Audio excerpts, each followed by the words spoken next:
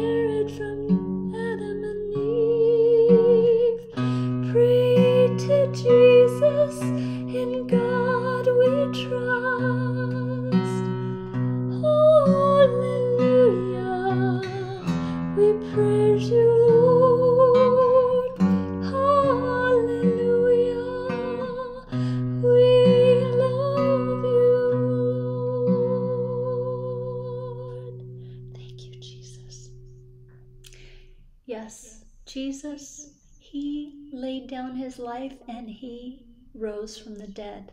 If it were not for the fact that He rose from the dead, we would have no hope at all. But he did rise, and he's coming back, and he's coming for the church.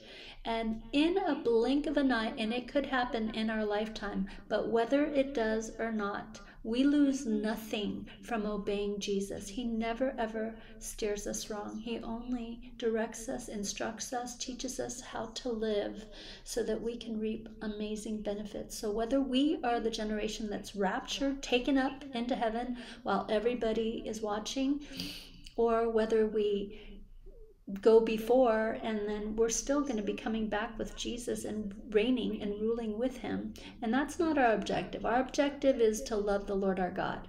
But everything else is just that's the way it's going to be and we're going to see amazing wonderful things and we're going to love it.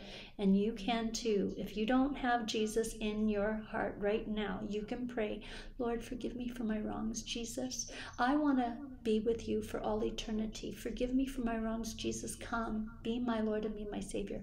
If you've done that you're a child of god and god bless you. Pray read the bible every day. Go to a bible teaching church. This is so very important. It's crucial. And read the Bible, obey, and know this church, it's not people that are perfect. Christians are people who follow Jesus, but we're people that are in desperate need of Jesus. Just like when you go to a hospital, you don't look for people that are whole, that are well. You see people that are sick, and that's what's going on in the church. And that's actually what's going on in the world. People just won't admit it. You and everybody else who follows Jesus has admitted that we need the Lord. Everyone does, but we just admitted it. That's the difference. Okay, God bless you. Have a good night. Thank you, Jesus.